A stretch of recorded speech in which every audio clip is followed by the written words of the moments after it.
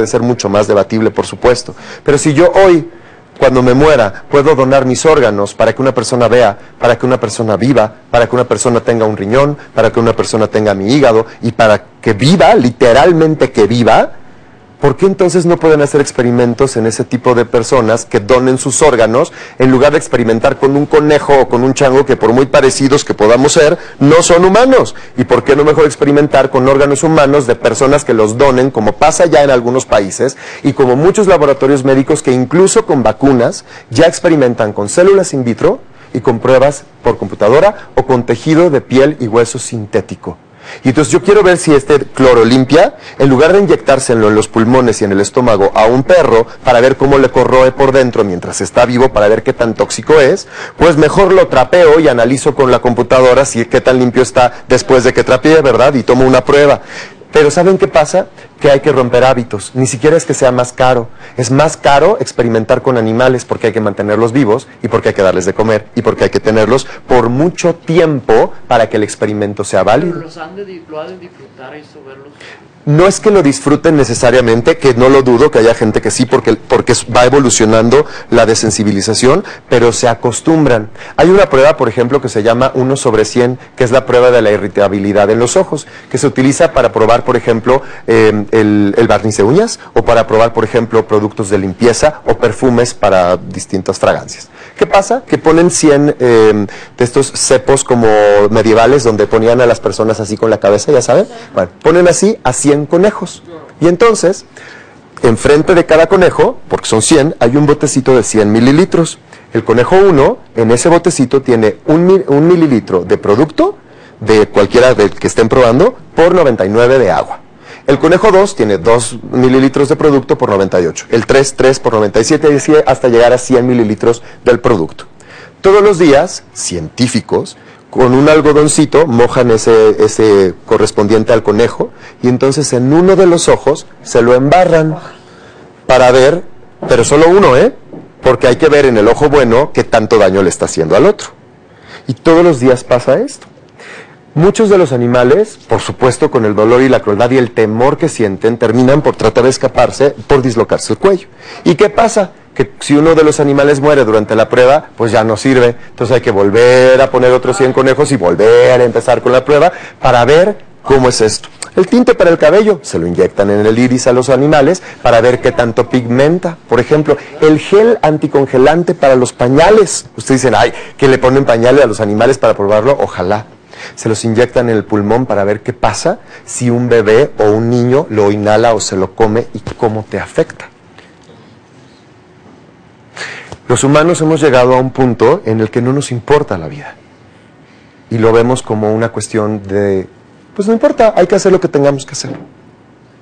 Para cerrar esto entonces, como les decía hace rato, sé que muchas de las imágenes y lo que hemos visto han sido altamente impresionantes y espero que entiendan, porque muchas veces me preguntan, ¿por qué si ustedes lo que buscan es disminuir la violencia, muestran imágenes tan violentas? ¿Por qué me, me viniste a violentar?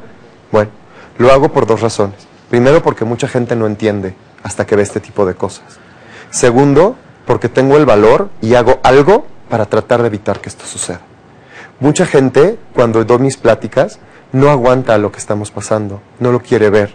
Y yo lo que les digo es, te entiendo. Si, no, si te duele es porque seguramente tú tienes un mayor grado de conciencia y de sensibilidad. Pero el que no lo veas, no significa que no pase.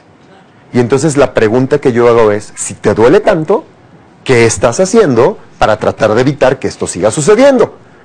Albert Einstein, uno de los genios más importantes de nuestra civilización, dijo que el mundo era un lugar muy peligroso para vivir, pero no por la gente mala que existe, sino por los millones de personas que son testigos, que saben lo que pasa y que no hacen nada al respecto para evitar que siga pasando.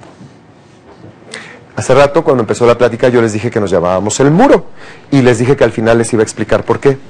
Un muro es algo que se construye ladrillo a ladrillo y en nuestra asociación cada persona significa un ladrillo. Entre más personas se unan a este movimiento, el muro crece y es un muro más sólido y más grande. Un muro, una pared, crea y divide espacios. En este caso nosotros queremos crear un espacio libre de crueldad, libre de violencia. Y un muro divide. Nosotros preguntamos, ¿de qué lado del muro estás? ¿Del que crea? ¿Del que destruye? del que construye o del que destruye, del que protege o del que destruye, del que cuida o del que mata. Ojalá que estén de nuestro lado del muro. Y no me refiero, por supuesto, a que se unan o no se unan a ninguna asociación, sino que tú en tu casa, con lo que tengas, empieces a tomar acción. En nuestra página de internet hay una lista enorme de productos en México que se venden en los centros comerciales y de autoservicio de México, de los productos por categoría que experimentan con animales y de los que no experimentan con animales. Es muy fácil. ¿Quieres ayudar a que esto deje de pasar? Ve la lista y di, en lugar de agarrar esta crema, voy a comprar esta otra, que está en el mismo lugar en el que vas a hacer súper, que cuestan prácticamente lo mismo porque son competencia y que ayudas, pero esto no tiene ese, ese, ese daño a los seres vivos, por ejemplo. Es muy fácil. Gandhi también comentó que el nivel de una cultura y de una civilización se podía medir por el trato que le da a los animales. ¿Por qué? Porque como son lo menos importante en la escalera de la violencia, si a los animales de los que está arriba, la estructura evidentemente lo que está arriba, la estructura va a ser buena. Pero si los animales tienen un maltrato, no te preocupes, lo que sigue va a estar igual o peor. Porque la gente se desensibiliza y pierde el respeto por la vida. Espero que entiendan entonces que toda esta cuestión no tiene nada, nada más que ver con darle bien de comer a un animalito, o con no patearlo, o con no hacer todas las cosas con las que por supuesto estamos en contra, sino con qué haces tú como ser humano para tratar de construir un mejor país, un mejor futuro, una mejor sociedad. Porque si no haces nada, entonces eres parte de la mediocridad que inmunda, que abunda para que esto siga pasando con los males que implica y que se van relacionando en todos los terrenos que tienen que ver no solo con los animales, sino con nuestras vidas. Entonces les agradezco mucho su atención y por supuesto sobra decir lo que ustedes tienen que hacer, no solamente con ganador, sino con ustedes mismos. No generen más violencia, respétense, entiendo que ustedes viven aquí adentro dentro de un esquema muy parecido al de la escalera de la violencia y que son violentados muchas veces y que reciben muchas agresiones, muchas presiones, lo entiendo. Lo que también entiendo y lo que espero que se lleven es que es muy fácil decir, pues no tengo la culpa, me tengo que desquitar. Ustedes tienen la opción de ponerle un alto y de decir, no, yo no voy a contribuir a esto. Y espero que así sea. Finalmente, cuando ustedes salgan de aquí, ustedes van a salir y van a ser figuras públicas. Y la gente los va a querer y van a poder ser ídolos en sus ciudades, en sus países o en este país. Y si tienen una carrera exitosa les va a poder ir bien. Pero yo les pido un favor, no importa qué causa defiendan ustedes, no importa cuáles sean sus creencias y no importa lo que ustedes quieran, escojan alguna buena acción y contribuyan a ella. Si son los viejitos, si son los niños, si son las mujeres con cáncer, si son lo que sea. No, ya no vamos a usar ningún otro video, gracias. Lo que sea, pero no solamente hagan show. La parte del artista de entretenimiento puede ser muy superficial, muy banal, muy de luces, lentejuelas, dinero, giras, que es lo que la gente piensa que pasa con los artistas y no se da cuenta lo que pasa con la gran mayoría de los artistas, que no es eso.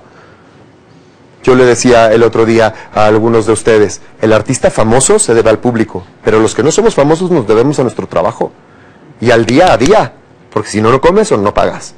Pero también en ese día a día tú puedes hacer la diferencia. No se queden solo en la parte banal del artista.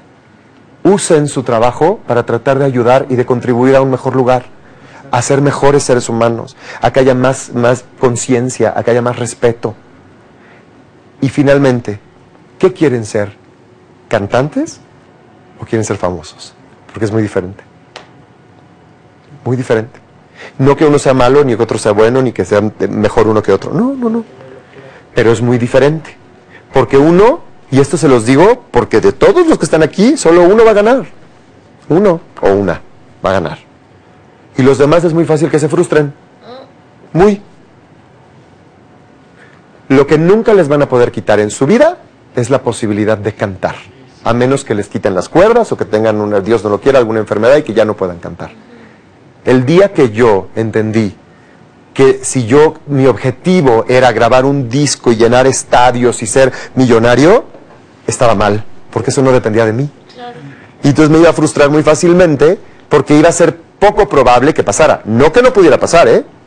Pero ¿cuántos presidentes de cada compañía importante internacional hay? Uno. O sea, es un puesto. Uno. No quiere decir que no lo puedas tener tú, pero es uno. Es uno. ¿Cuántas Shakiras hay? ¿Cuántos Luis Migueles hay? ¿Cuántos Ricky Martins hay?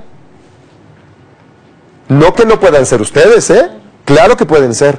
Pero fíjense cómo esas personas que dije, todos ayudan. Y todos algo hacen por tratar de que este mundo sea un mejor lugar.